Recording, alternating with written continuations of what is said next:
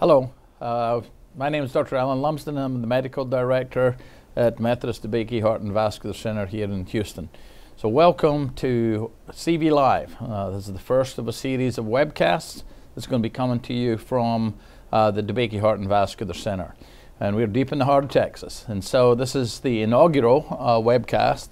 And I'm joined here with my friend and colleague, Dr. Zsolt Garami and he's one of the world's experts uh, in transcranial Doppler monitoring. So tonight we're going to talk about cerebral embolization. It's the hot topic in the interventional cardiovascular space. A lot of people denied this was a problem. Now it's a focus uh, as a complication for a lot of the interventions. So thank you for being here, Dr. Garami. And tell before we get started, tell me a little bit about you. I know you trained in Budapest. How did you develop this interest in transcranial Doppler and how did you end up in the United States? Well, thank you for having me and thank you for hiring me. I think uh, that's why I'm here and I'm uh, uh, one of the first uh, uh, physician you hired when you started to rebuild the department. Uh, before that, I, after my graduation from Hungary, I was really interested in stroke and this is where I did some stroke research, imaging research in Salt Lake City and next door uh, with Dr. Grotta and uh, with Dr. Alexandrov. And I think uh, learning more about the transcranial Doppler, that was my focus actually my thesis. So even in medical school, I kind of looked at this like, this is a really fancy technique and we were practicing on each other as uh, medical students. And uh, from that, I think it uh, became one of my passion. And, and I think to able to understand what is the Doppler signal tells you almost like you really need to speak the Doppler language. So I got that. So with that, it's a perfect introduction because what I want to do is try and help the audience speak the Doppler language. For some reason or other, it seems very confusing to people. Um, if I could have my first slide, please, I'm going to actually try and set some of the background for why we think transcranial Doppler is extremely important. Okay, so for a long time, you and I have struggled and said this is an important way of looking at blood supply inside the head in a variety of circumstances. But our interest, of course, is actually when we're doing procedures from anything on the left side of the heart, the aortic valve, the ascending aorta, all the way up into the carotid arteries, it's important. But when I saw this publication that came out in 2017, I suddenly realized that your moment had come to shine because this is a publication, and if you look at the authors that are on here, these are people from the TAVR world. So all of a sudden, TAVR has created a great focus on what happens inside the head. Why? Now, remember, a lot of people have been telling us, don't tell me about this embolization stuff. It doesn't really matter because these patients wake up, don't have an obvious stroke. And my answer to that was, okay, try and explain to me what the good emboli are that are going on up in your head. And if you can define that, then maybe we'll try and work on that. So there are no good emboli which go on up in your head. And what this is, and this is a Lansky publication, they basically came out with a proposed standard neurological classification for cardiovascular and endpoints for cardiovascular clinical trials. This can potentially transform our world. And what they were doing, this is an abstract, that essentially what they were saying was, and if you read this, is that the primary mechanism for procedure-related stroke is focal or multifocal embolization during cardiovascular instrumentation. Now, they're not just talking about TAVR. They're talking about coronary bypass, open aortic valves. Those are the kind of cardiovascular uh, instrumentation events that can occur. And that diffuse cerebral hypoperfusion, in other words, shutting off the blood supply to your head, you know, it happens, but it's really not, is a less common cause. Well, you know, when we do open heart surgery, all we do is measure for global hyperperfusion. But the most common events are embolic. None of the currently used systems tell you about embolization. And yet, everyone acknowledges that's the most important thing. So all of a sudden, you know, Lansky comes up with a whole new classification system for stroke. And they say that type 1 stroke is a lesion in your brain and the clinical manifestations, paralysis, hemiplegia, for example. But type 2 stroke, you know, moving on to that, type 2 stroke, they're defining as a diffusion weighted MR positive lesion in the absence of clinical symptoms. And very provocatively, they describe that as covert CNS infarction. Now you tell me infarction means dead brain, isn't, isn't that right?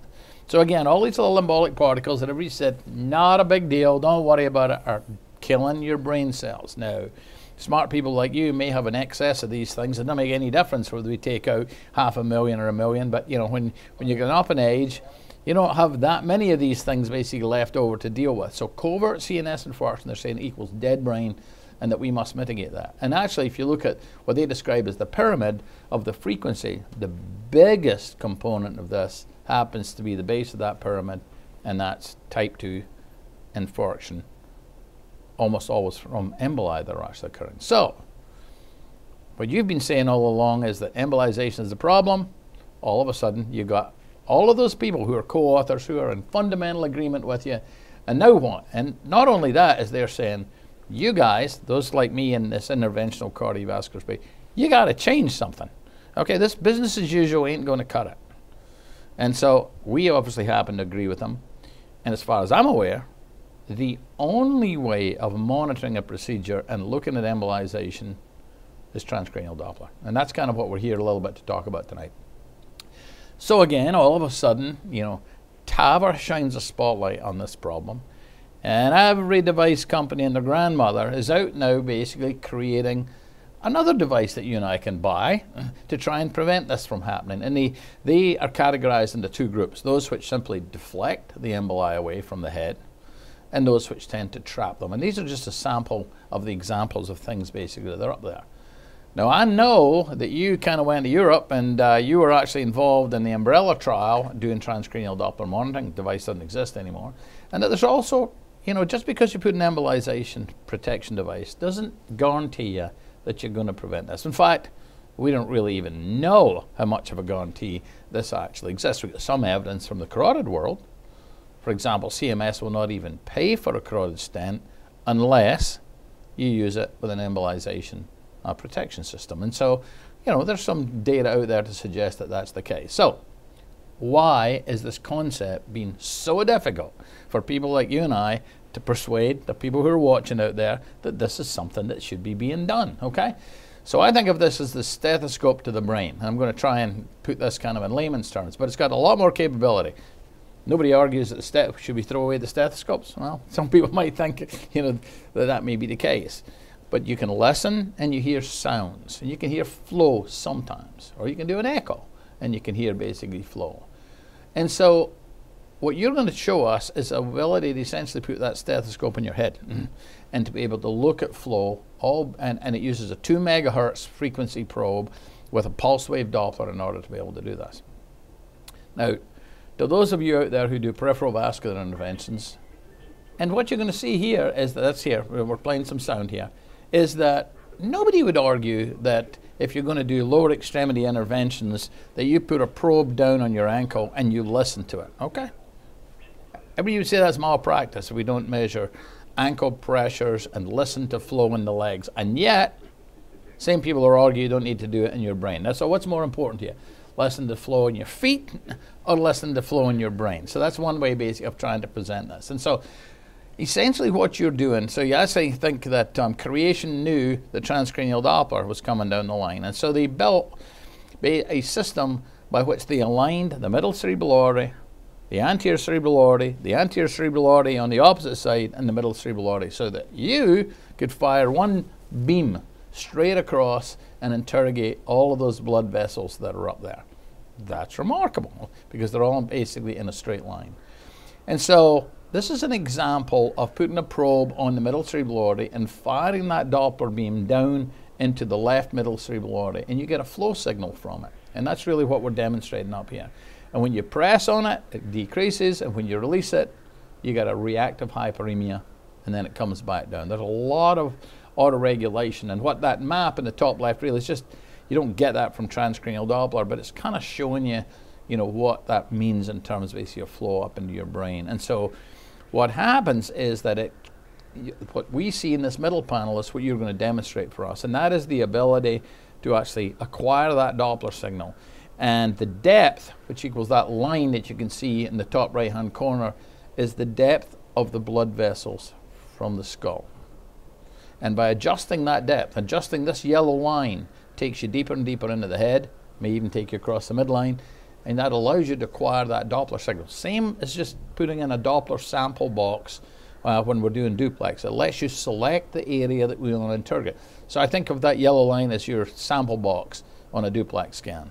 And so we can acquire all this information, you know, when we're doing transcranial Doppler. And it lets you look at normal blood flow, it lets you see the presence of flow, it, you can interrogate from what depth, the direction of flow, the speed of flow, the resistance, and oh, by the way, if there's something wrong with it, it shows you how blood reroutes inside the head. And you can tell us that real time or when it's been occluded.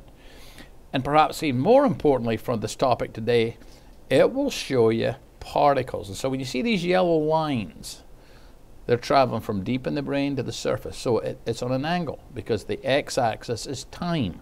So it's traveling from deep to superficial, and you can detect that. And that's really going to the focus of what we're going to talk about. So, for the audience out there, regarding cerebral blood flow, let's say it's you that's on the operating room table, and let's say basically I'm putting a stent graft or a carotid in you.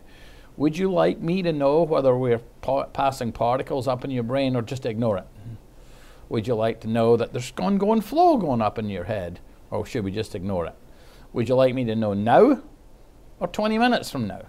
Well, it seems we hold these truths to be self evident. Clearly, when you're dealing with your brain, it's real important to know what is going on, you know, real time. And so, Thomas Jefferson said, we hold these truths to be self evident, much like the pursuit of life, liberty, and the pursuit of happiness. All righty. So, I would like you to switch over onto Dr. Garami's slides because at this point, basically, we're going to talk about. I'm going to turn this over to the expert, and he is going to teach us about cerebral embolization and transcranial Doppler. So over to you, Dr. Garami. Thank you. Um,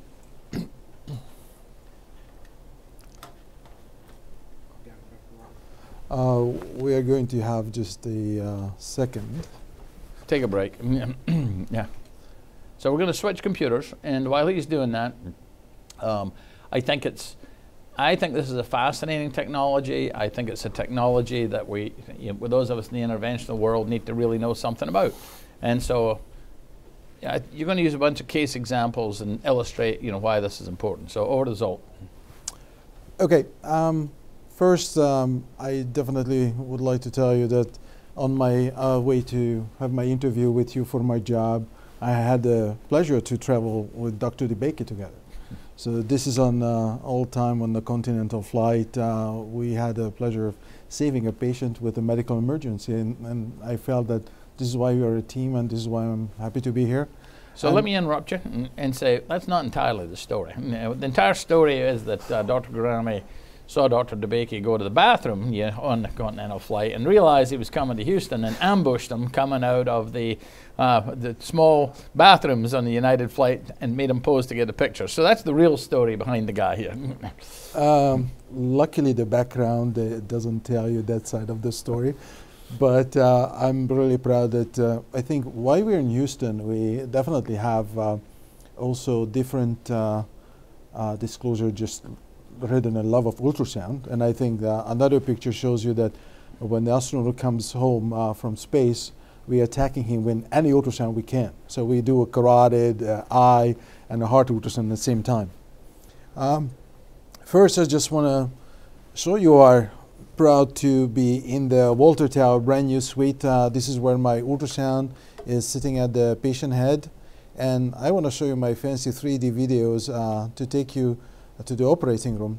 So we are live uh, monitoring one of your case, uh, a carotid stenting, and this is where I'm sitting and uh, interacting with anesthesia team, interacting with the surgeons and uh, rest of the surgical team. And, and I think it's very important that uh, we are communicating what is the TCD finding uh, directly with you. Um, so I think um, that's important because, you know, as you show putting the head frame on, um, Dr. Garami is a physician, and so he has a lot of knowledge about the procedures. Because it's not just looking at the TCD signal, it's interpreting what is going on inside the head in relation to what the physician is doing. So you're watching what we're doing continuously and continuously communicating with us about, hey, this is good, this is bad, change something. And I think it's very important that uh, with our video recording, we really can link uh, uh, what's really happening on the field and also on the ultrasound equipment. Uh, can you imagine how many computers in the room? None of Yep. them is synced. So you have t- tremendous different hours uh, running on the clock. But here, what you see is that I place the head frame on the patient who's awake. Again, uh, the patient is not complaining that I'm hurting the patient. And uh, after the uh, really tight placement of the head frame, I'm positioning the probe just front of the ear. And if you feel just on yourself front of the ear, there's a tiny, tiny dent. This is where I'm positioning my probe. Um, this is where the bone is a little bit thinner and the ultrasound can, can pass. And as you can see by tiny adjustment, I can get a better signal. And on upper screen, uh, you start So to the low frequency probe is designed to penetrate. Does everybody? Can you do this in everybody? Um, I think so. Uh, definitely, we have some issues with ladies. I think we think the ladies are hard-headed. Oh my gosh, um, that's going to kill me. Well, uh, but that's the truth. I think it's something to do with the osteoporotic uh, uh, air pockets in the bone. Yeah. Somehow the ultrasound is uh, deflected, and, and we just can't get uh, very good signals. But what you can see here that when we get the perfect signal, you can see how the signal is so blunted. You showed us the perfect book cases that this is how the signal is supposed to look like. I'm showing you this is how our patient's signal looks like, and this is you can tell immediately. I'm matching the MC and also the AC, which is a potential collateral for the disease. And based on this signal, I can tell you that this carotid is definitely had a significant disease because of blunted signal. Okay, so You for a layman, I'd say that it looks like that's not a good signal. Your Oh. systolic upstroke disappeared. Yeah. So let's make that as like a number one rule that in the moment your systolic upstroke disappeared between your measurement point and your heart, there is a blockage of significant stenosis. But you're also telling us that the ipsilateral anterior cerebral artery is reversed. Yes. So, So remember, e- even if you're colorblind, Yeah. you can still see the positive, negative direction on the spectrum. So, but definitely there's a red signal here at the, the depth of 60 to 70, which is the, your reversed ACNM. But what you're telling me is that a significant carotid stenosis, there's ample blood supply in the middle cerebral artery, but most of that is coming across the anterior communicating artery. And the expectation then is that if you fix this problem, you will find that ipsilateral anterior cerebral artery reverses back to how it should be, and that basically should go blue. So you're going to show, you're going to, you can tell us that real time. Yes, and I think this is the evidence of how just not the direct uh, uh, MC recording, but able to show the uh, uh, uh, collateral pathway. I Mhm. think it's helping us. And uh, one of the uh, issue we have is um, how the TCD is so operator uh, dependent, and uh, we are trying to uh, make a. So you're uh, going to show us this robot here, and I think that's important that we actually show that. And so, and, and the reason for showing this is that um, is is that the two uh, criticisms we get are number one, who's going to put the head frame on, how skilled do they need to be, and then who's going to monitor it. And so that's basically one of the issues that we continually hear as a criticism of this technology. And so you're going to show us what? I'm going to show you that uh, how I can uh, find uh, the middle subarachnoid signal with a robot. Um, this uh, robot is basically going to uh, find us a signal bilaterally at the same time. So this is almost like cutting my signal finding half if I'm cannot do it or Okay, so- cutting one guy out of the circulation. So always leave the audience, you know, with anticipation. So you're going to take a little break for a minute before you actually show us um, what that robot actually does. I really hate commercial breaks.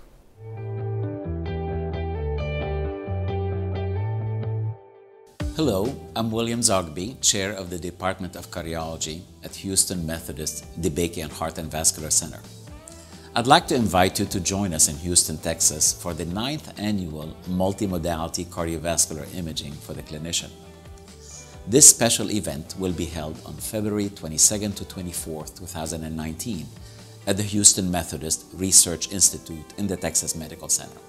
Cardiovascular imaging plays a vital role in the management of cardiovascular patients. Knowledge of the various imaging modalities is indeed critical in understanding their advantages, limitations, and appropriate utilization. This is in patients with ischemic heart disease, heart failure, cardiomyopathy, valvular heart disease, as well as aortic disease. In addition to didactic lectures by world experts from this country and abroad, this two and a half day symposium offers small group tutorials, each imaging modality, demonstrating heart anatomy to better visualize and understand cardiac and valvular structures, along with other imaging modalities. The course is designed for physicians, mid levels, nurses, trainees specializing in cardiovascular disease. We also encourage nurses, sonographers, imaging technologists, and echocardiographers, cardiac CT, and MRI specialists to attend. I hope you will join us for this conference and look forward to seeing you in Houston in February. For more details, please visit our website.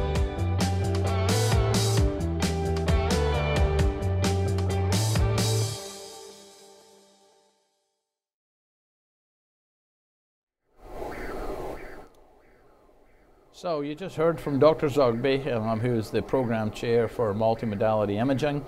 Um, and one of the things we'll be talking about there actually is transcranial Doppler. So we left you uh, talking about a robot. But before we go to robotic acquisition, Dr. Garami here is going to demonstrate a little bit about how, in the absence of a robot, we do transcranial Doppler monitoring. So, so take it over. So I'm just testing how nervous I am, basically just monitoring my own blood flow. As so can you show us the probe? Just hold the probe up. So it's pretty unsophisticated. It's uh, like a pencil, yep. and I'm holding it as a pencil. Yeah. And I'm positioning it just front of my ear, and uh, basically the idea is that I'm angling up and anteriorly. So I'm trying to find a signal, and based on the sound. So you're I alive. Yes. We got a heartbeat. But I would like to show you a cool Valsalva maneuver.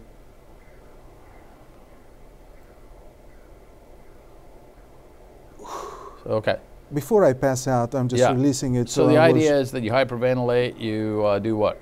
And this is how I'm testing my autoregulation. Make right. sure my hemodynamics are working, and this it looks like it's a mic. So it's picking up all my voice too. Oh yeah. Uh, so this is where this two megahertz signal reflects all the ultrasound signal from your red blood cells. Yep. So anything is coming towards is red, going away is blue. And again, if anything else travels with the red blood cells, give you a bloop, Luckily, I couldn't demonstrate an embolus no for you. Yeah. you can't even, but that would be your embolus signal. well, uh, next time, arrange for you to have a few emboli, you know, while we're doing this, so we can really convince people. But I think it's really simple, two megahertz probe, and I think if we will make it uh, 1.5, maybe we wouldn't have so a problem with uh, uh, going with these 10% no window cases okay. that able to get uh, everybody. Are people working on making a lower frequency probe? Yes. So um, actually, uh, definitely, uh, that's the other approach. We're trying to differentiate solid and air particles to so use two different frequencies. So much does something like this cost? I know Spencer Technologies got taken over by which company? Neural Analytics. Neuroanalytics. So roughly, I mean, we spend two million dollars on an MRI machine, you know, six hundred thousand dollars on the CT scan, you know, two hundred fifty thousand dollars on a big ultrasound machine. What did that cost? Uh, roughly around thirty-five thousand. Is that all? Yes, sir. Okay. Uh, so, so, it's, it's so not a big investment. In, in the world sure. of you know hospital expenditures, this is a remarkably cheap device. As reference, uh, another duplex ultrasound machine for all the vascular uh, or an echo machine runs 150 to 200,000 right. uh, range. So it's interesting. I heard recently that one of the most cost-effective interventions in patients who have ischemic strokes is to suck the clot out of their head um, and revascularize them. I mean, in a way, if we thought of this as a stroke prevention piece of equipment, it's got to be the most cost-effective piece of equipment that exists in any hospital anywhere. Uh, not only that, but when, when we learn how to detect MC occlusion, uh, we're able to select those patients who needed that intervention.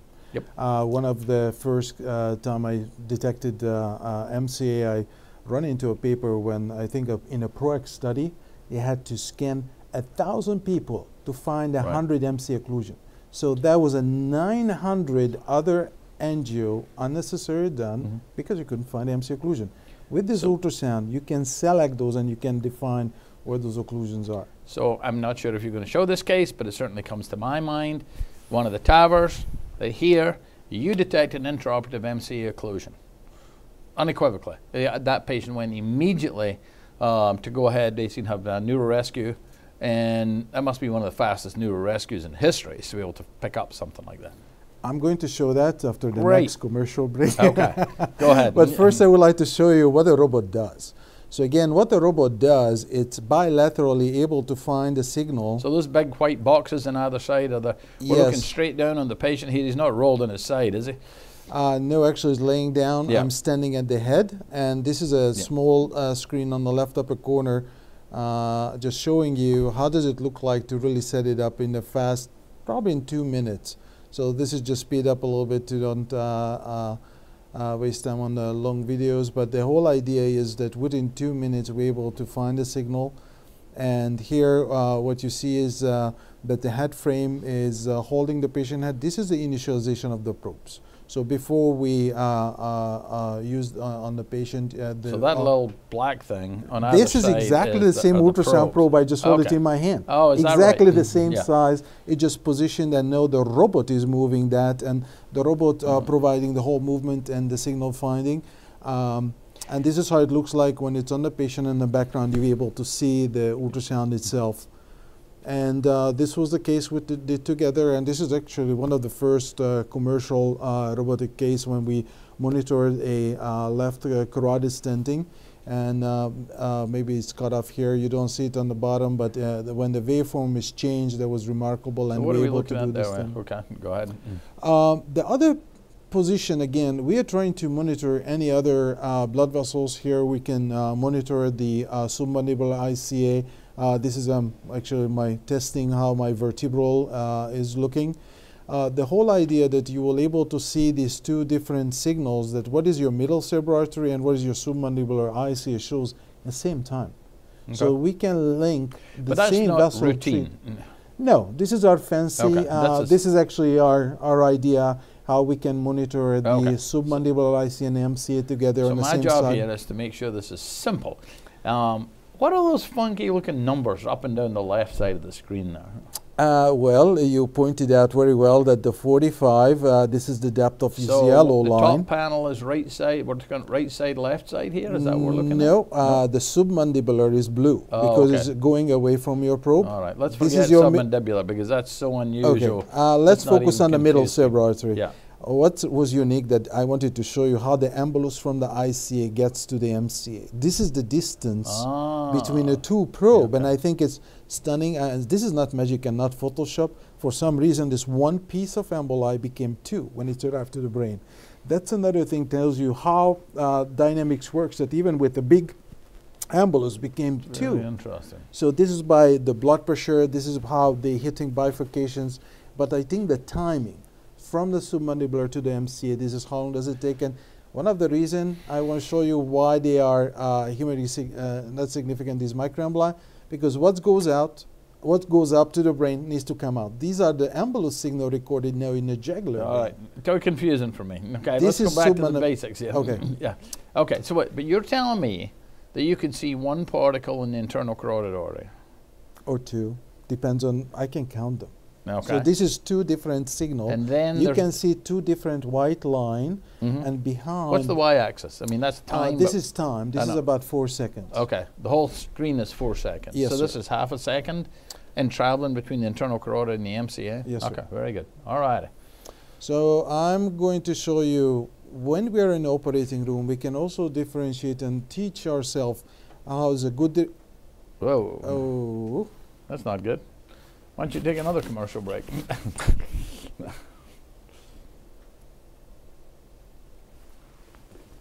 oops. no, you can't move. It's, it's on the computer here.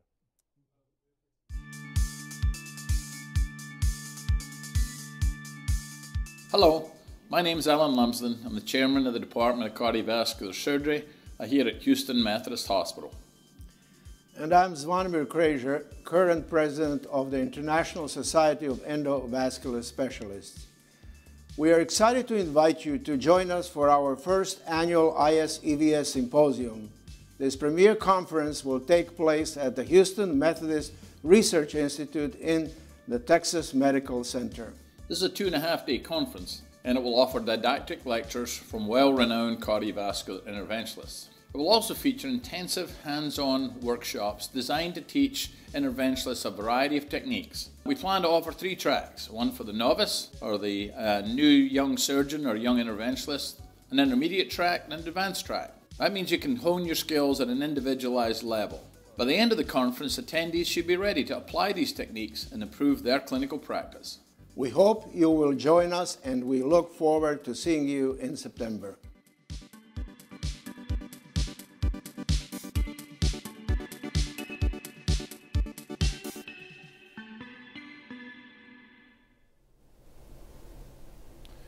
Okay, so sorry about that, and welcome back to CV Live. And uh, you just seen a little uh, promotion for the ISEVS inaugural symposium, which is going to run here in September. So we're planning to run the biggest hands-on endovascular program in history. Um, and so if you need to learn endovascular skills, that's the meeting to come to. So we're going to jump forward and talk about how I really kind of got involved with uh, Dr. Garami, and we monitored a lot of carotid endarterectomies. And so Bottom line is, what we're going to do is open up the carotid, clamp the carotid. There have been all these dogmas in the vascular surgery world about when we should shunt patients. Most of them are wrong because when you actually measure the flow, all you really care is about what is going on up inside your head. And so you're going to get an idea here of what he can tell us um, yeah, when we need to shunt a patient and what's going on inside the head. So over to you, Dr. Garami. I would like to show you an example, and this is a bilateral uh, monitoring. Uh, this is where uh, we see the, uh, we are working and touching the carotid even for a one heartbeat. Okay, You again, so change. do me a favor. Just, I want to make sure everybody understands this. Your yellow line is the depth from the surface. And you've got that set, I can't see what it is from here, 50, 55 millimeters. Yes. And uh, so that Doppler tracing, that waveform is coming from the middle cerebral artery up above where we're going to clamp.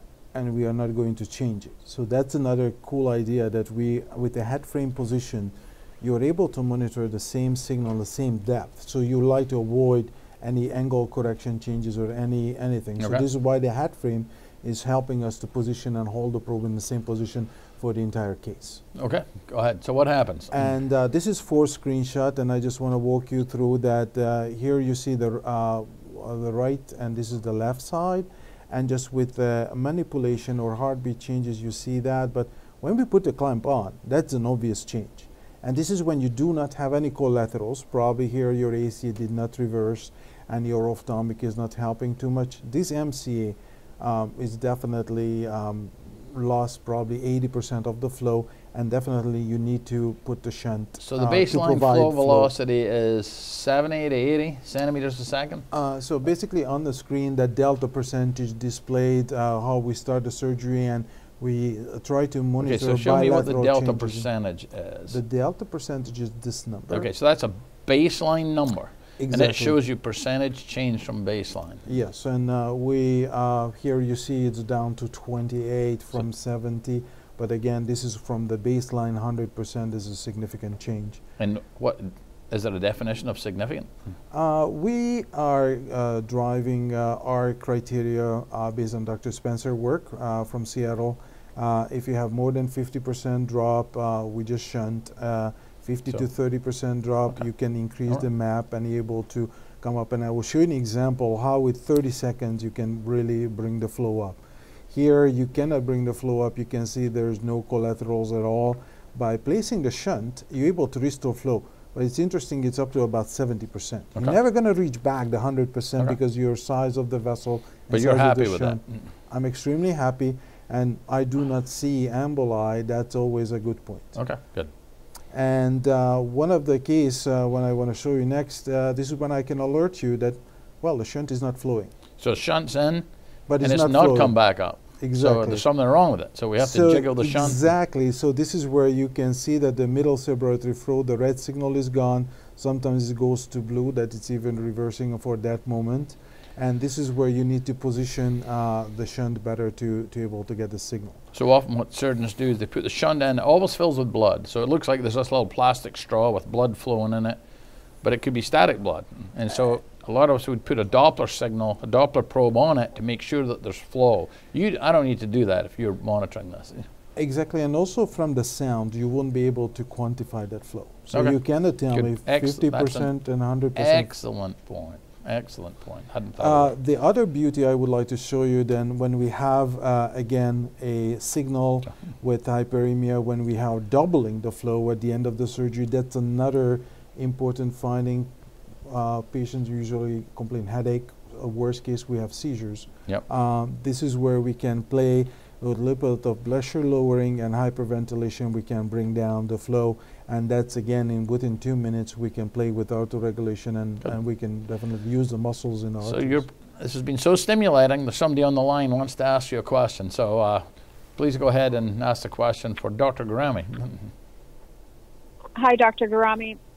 Can you tell me what the smallest size um, emboli TCD contract, and how does that correlate see. to the type 2 stroke classification?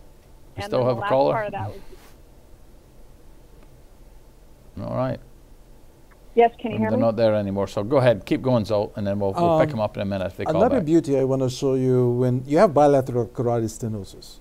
So look at this signal. What does it tell you? That you're so much depending on one carotid flow that you Oh, mm. it's another. so let's see if we can get the uh, the caller on the line now.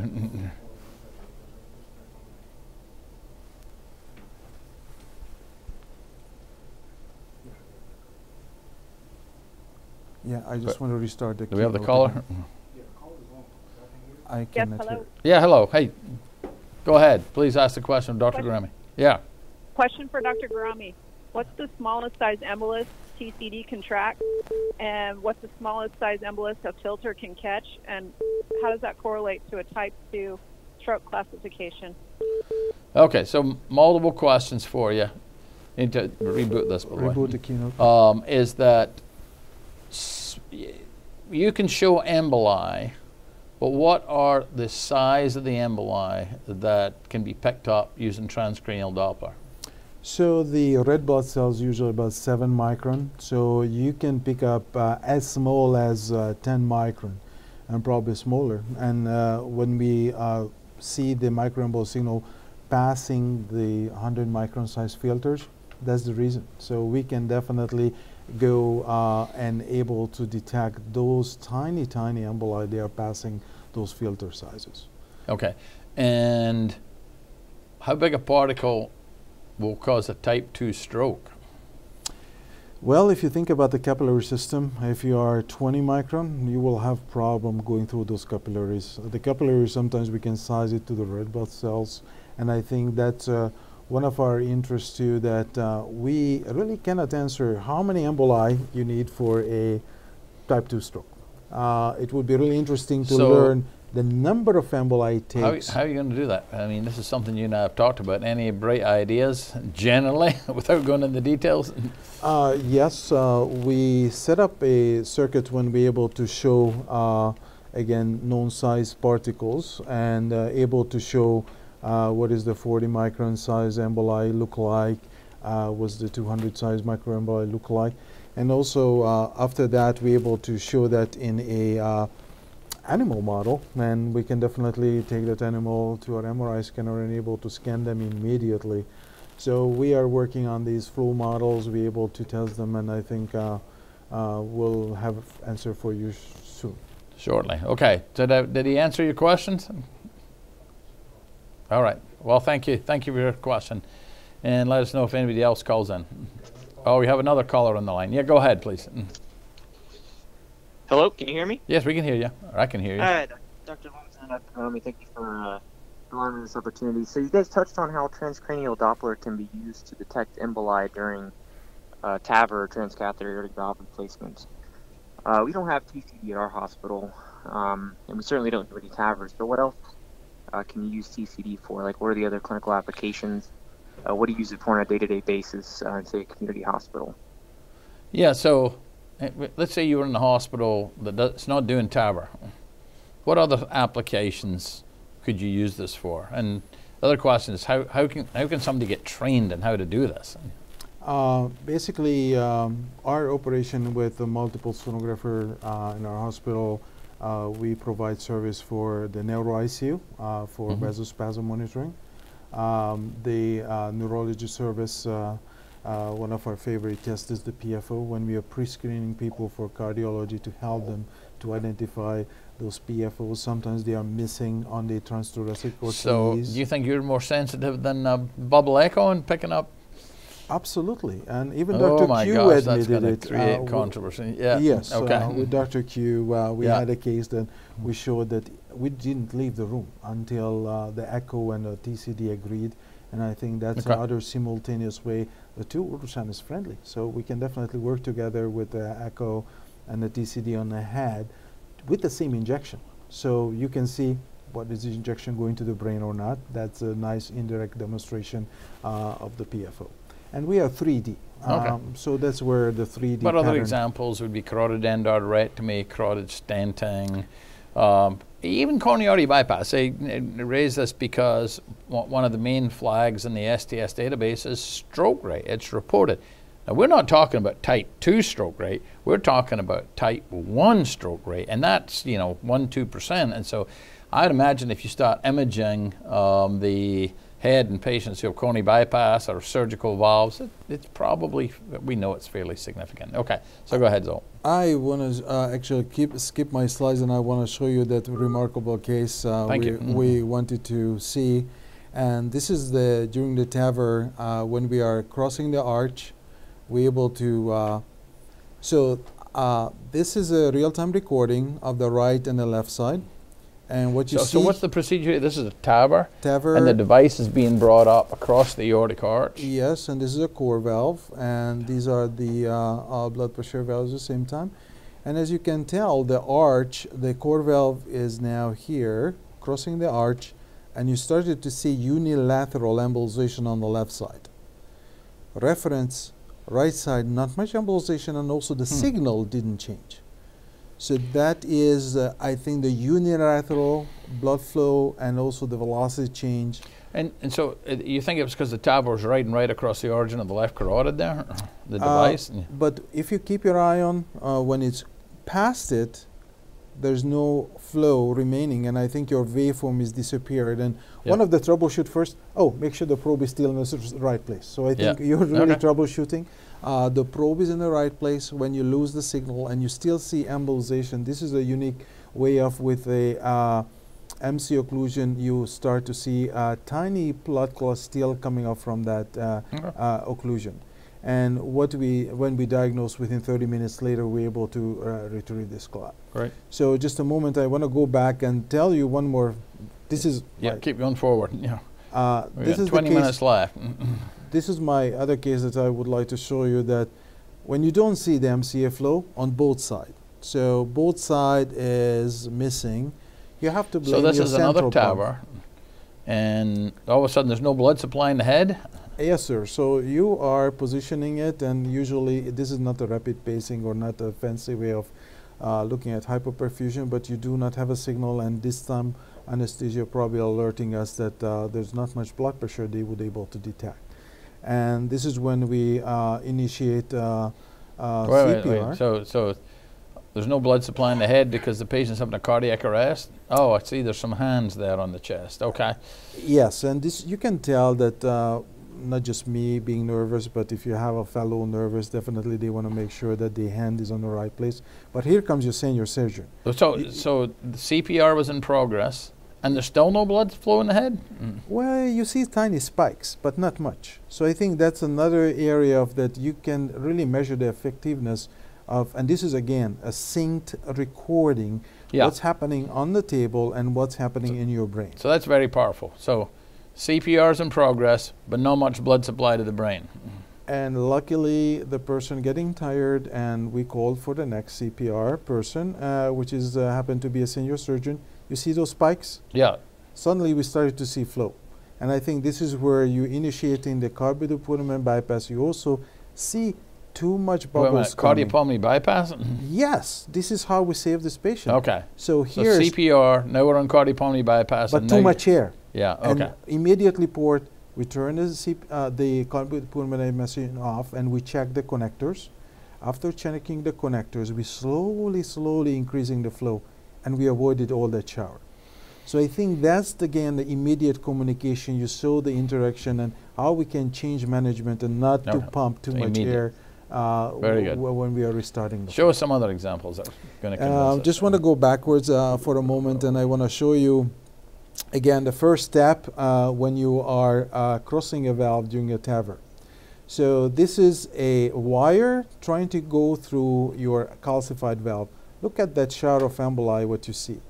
This is again just poking on the calcified valve, you can see. And we have a rule that after two minutes you can cross it. We have another uh, uh, uh, surgeon or cardiologist going to uh, try it. And I think uh, this is uh, a So who's better? The surgeon or the cardiologist, in your opinion? I do not remember. Probably best not to answer that. Yes, and I do not remember exactly uh, whose hand is uh, at the end of the wire, but I think it's a really good measurement. And hoops, now you got through.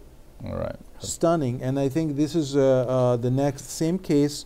I'm going to show you when. Uh, So I would be very worried about deploying this valve if just poking it with a wire was causing active embolization. And it's really interesting that how this classified and, and watch this. This is a balloon coming up with a rapid Oh, pacing. so now you've lost flow, huh? As soon as the balloon goes up. hypoperfusing. Yeah. You didn't Okay. lose the flow. You just uh, rapid pacing. Uh, you decrease your cardiac output, and now your balloon is uh, uh, deflated, and you see a little bit of emboli coming. That again tells you what are the different time of when you see uh, microemboli signal, and you can define throughout the surgery.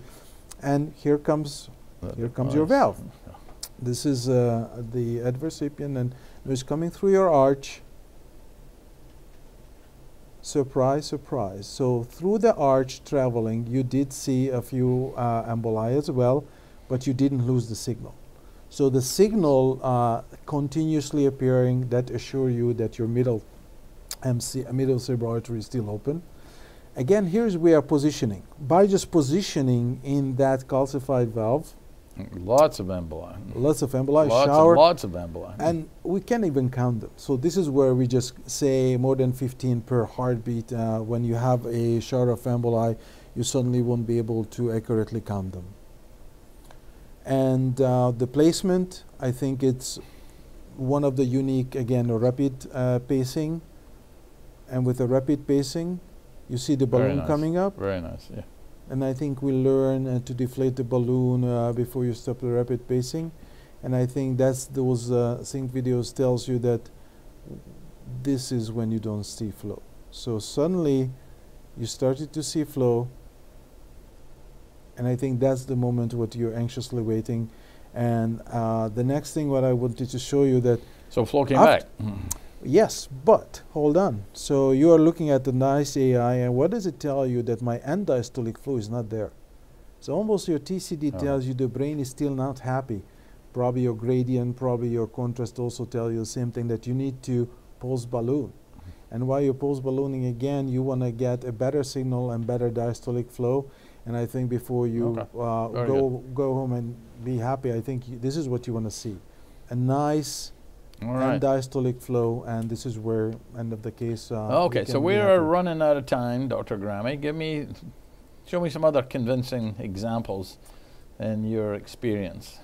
Well, uh, this is just uh, one of our recent case. Uh, I wanted to show you when we're using the Impella uh, Uh, catheter. help me with that slide and tell me what I'm looking at. This is your TCD Yep. showing you multiple emboli on both sides. And what is unique that we have an Impella controller telling you how much your uh, uh, so uh, top flow right is the volume Impella controller. And I think uh, within two slides, it will go to commercial break in a second. When you change, you can see the seven uh, of flow setting. This is a little bit more than three liters. You see just one single emboli. But if you go under three liters, you don't see any emboli. And another thing I want Oh, you to so- notice, you see this non-pulsatile flow pattern? More pulsatile flow pattern when you decrease the impella volume. So I think the Because shape heart of the the shape of the waveform is described by this PI value. The PI tell you how pulsatile is your flow, All right. but I think That's a little bit beyond me in understanding it. I think you. right, um, this sorry. case I know about, but let's take a little break before you before Yes. you go on to that. Uh, take a break for a minute.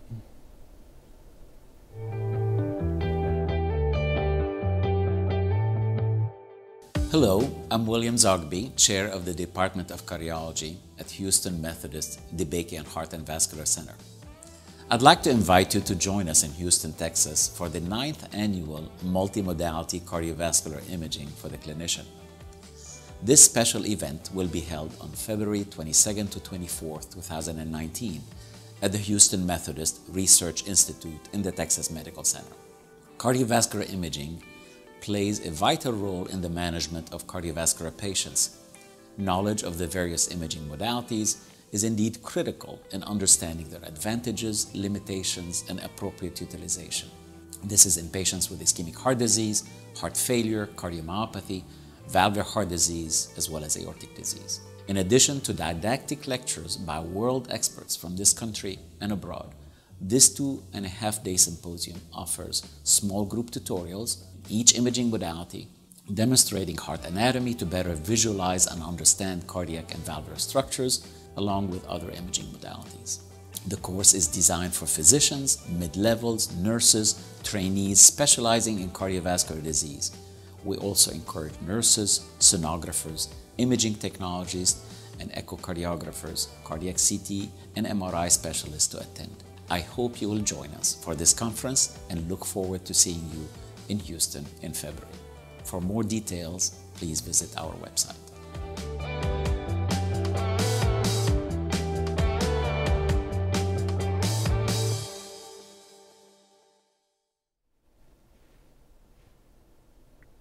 Okay, well, welcome back. And we have one more question uh, on the line. I'm going to give that to Dr. Garami. Hello. Thank you so much for calling hey in. guys, hey, hey, Dr. Garami and Dr. Lumsden. This is Joe Basha. Uh, first of all, my compliments to you on an excellent program and uh, and uh, broadcast. Uh, it was very pleasant to watch, and uh, technically, uh, even though the you, the glitches probably seemed bigger to you than it did to us out here in web world, but it came across very well. Thank you. Thank um, you. A couple of things. Yeah, yes, yes, sir. Th- A couple of things. One is, you know, in the community environment, you know, you're down in the medical center and you want to do TCD on every single one of your carotids, no problem.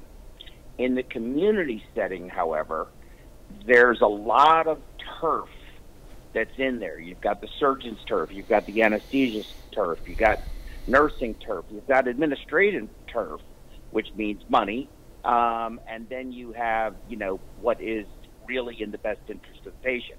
Notwithstanding, I agree, is a one, two, three percent stroke rate eh, good? No, it should be zero. But the argument will always be how is identifying what happened that caused the stroke going to help us prevent a stroke?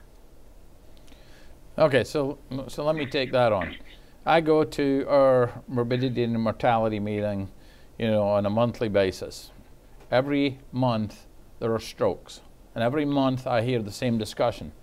It could have been when we cannulated. It could have been a clamp. It could have been the perfusionist doesn't know what he's doing. It could have been anesthesia. And the short answer is nobody really knows. The patient wakens up with a stroke. And fundamentally, if all I can do is point you in the direction of where it's likely to have come from, then I think that moves the ball. You know, if, you know, for example, we find that we cannulate and there's a massive amount of embolization, then obviously should we be using epicardial echo or epiaortic echo to try and find out where we're uh, cannulating? If it happens from the cardiopulmonary bypass, then maybe it's you know a perfusionist problem. Um, and so I, these are the things that I think help you identify the likely events that are causing stroke, and then you can focus on it. And the other part of this is it is highly sensitive when there's no emboli in a phase of the procedure, then I'll guarantee you the stroke didn't happen at that point in time. So, so you know, I've, I've heard this argument. I give you this example of Zsolt identifying an occlusion of a middle cerebral artery. You know, identifying that is the difference between that patient well, wakening up um, non-hemiplegic versus hemiplegic. So I do think it helps Mhm. you in that respect. hmm I think that's a that's. I mean, I, I I think that's an excellent, very comprehensive answer. I agree with you 100. percent But the uh, the real world of the community environment seems uh, uh, it, that that kind of logic uh, seems still quite challenging for people to recognize. but so- I think there's an opportunity. So, of course, the other thing that's coming your way, Joe, is uh, public reporting of cardiac surgery outcomes along with stroke rate. And so, I think what you're about to find is a massive change in focus. Um, as soon as we take the veil off what, what is going on, and, and just remember, what is being reported is type 1 strokes. If all of a sudden we start having them, you know, report, you know, any evidence of type 2 strokes, for example, in the TAVR world, I will say, you know, imagine if you had to go to a patient and say, well, there's about a 70% chance you're going to have a stroke. No, no, you don't have to worry about those strokes because um, it's just killing part of your brain. But, you know, it's a very difficult conversation with patients, actually. So I think it's really helped us um, focus on this. So hopefully, Very good. let Thank us finish off really what's going on here. And at the also, I moment. wanted, wanted to answer, and, and I think the previous question was how to train. And I think uh, the number, what I can impress you with, is we have probably 15,000 vascular lab in a country. There was only 80 TCD labs. So until not every vascular lab able to perform TCD, we do need to educate people. And I think uh, one of my advertisement will be that definitely we'll have a TCD uh, boot camp uh, front of your ISEVS meeting. So this is where uh, we continuously uh, uh, do our education part, and uh, indeed you can find us. Uh, then we can continue to train uh, uh, people uh, how to do TCD. All because right. I think the training. very good. Close it out. Impress me with I had- something that's going to say, I gotta have Okay. transcranial Doppler. Thank you, Joe, for calling in. Uh, we're just really running out of time, and right now I just want to show you the best example how the hem- hemodynamic information gives you a real clue. This patient is awake, sitting, and watch what happens. Can we get the sound on the computer? The patient is reporting that I'm getting dizzy, lightheaded. He puts his arm down and the flow comes back. And I just want to show you one more time. Uh, this is what happens when he lifts up his arm. His PCA signal disappears So- and he's immediately reporting lightheadedness and dizziness. Okay, so let me qualify this. This is a patient was sent to me, had been seen multiple places, and the patient said, Every time I lift my right arm up, I get dizzy. What does the physician universally do? Think you're crazy. How can that possibly be? And then you basically put the transcranial Doppler probe on what? On the PCA, Posterior because I cerebral artery. wanted to see the posterior circulation. and you make him put his arm in this position, and he tells you, "Oh my gosh, the symptoms are coming back," and you immediately go, "Here's what, uh here's why you're dizzy. There's no flow in your posterior And circulation." not only that, but there was a normal angiogram was done on Yep. that arm. And- All right. And I think that's another uh, comparison that when So- you do your angios, uh, you still see Yeah, you do an angiogram static, and it's crazy. Okay, so go ahead. We're about to have to close this out. Don't worry about these angiograms. If you want to know what we did, then you're going to have to come back for something completely different. Okay. Yes, and when I'm not in OR, this is when you're going to see us do remote uh, uh, TCD. And finally, I just want to thank to our team because again, uh, we have 16 sonographers in our lab, and we just celebrated the 40th anniversary two years ago. And uh, special thanks to our VPs who making us this equipment available for us. So All right. So thank you for all the support, and uh, this is how we can make pleasure. our So let me try and try and summarize here. So we started off with the question is how are we going to detect cerebral embolization? What I'm going to say is that TCD is the only test that tells us about cerebral embolization uh, during the course of a procedure. And the question you always get is, okay, so what? Why is that important? Well, I think what Lansky said is a lot of these emboli, maybe not all of them, that's something we need to define, are associated with causing dead brain. Number three, as you always hear, well, there's nothing I can do about it. Well, you've demonstrated that is absolutely not the case. There are multiple things that you can actually do about it, and here's an example of detecting flow. You also showed an example of a patient with a cardiac arrest who had CPR, which everybody would observe as having CPR, but it was ineffective CPR. They were not perfusing in their brain. And the other two questions were are those of practicality. I don't have Dr. Garami here to place the head frame. I think there's technology in the form of those robots coming down the line that will automatically, and that's actually being funded uh, by the U.S. military because they're interested in brain injury in, in soldiers. And finally, is the question of, well, who's going to interpret this? And I think that increasingly you're going to be able to, much like EEG, when you do an EEG, the guy who interprets it's not sitting in the corner of the operating room, they're in a remote monitoring center. And I think we're going to be moving in that direction. So thank you very much for tuning in. Uh, thank you, Dr. Garami, for your expertise. I think your time has come that people are going to realize that TCD, you know, is an important way of minimizing the risk of stroke during these, uh, these um, highly embologenic procedures. Thank you very much for uh, listening to us tonight. Thank you. Pleasure working with you, boss.